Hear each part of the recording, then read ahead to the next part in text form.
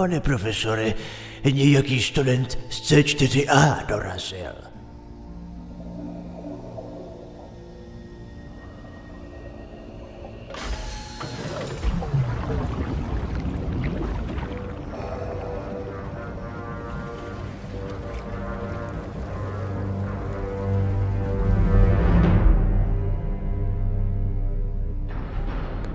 Ní, na tý, i tý, i čitý. Oh.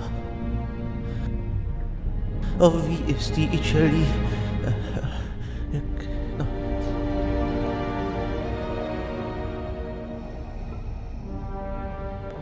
Sakra. Nenavázat oční kontakt. Nenavázat oční kontakt.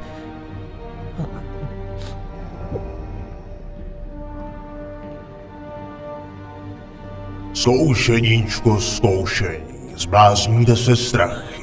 Kdo chce dobrovolně? A velvyslanec třídy C4A. Pane profesore, Potíž se. Máš vysokou absenci, že ano? ne, já jen mám takový malý problém s chemie. U všech molekul. Že ty jsi si zase spletl pevný hydroxid s lentilkami. Ne, to určitě ne. Žádný hydroxid ani čpavek jsem tentokrát nešňupal, ale máme menší problém ve třídě. Kromě toho, že na nás padají zářivky, tak se blíží ta... Maturita. Vaší povinností je nahlásit problém školníkovi, který je vyzbrojen nejsilnějšími dráty světa, kterými zářivky upevní. To se týče maturity, nezvládnete ji nikdo. Takový je No průměr. jde o to, že už si nemůžeme vybrat mezi životkem a analytikou. Myslíš, že všechny ostatní předměty jste měli jen tak?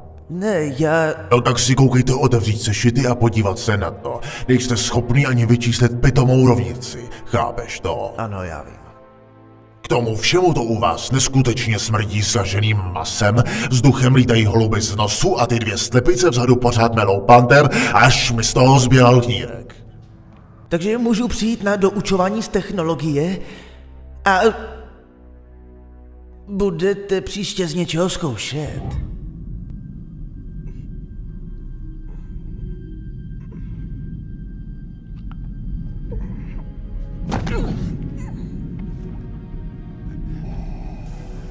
Já už na to normálně nemám, ty bláho. Slyšel jsi?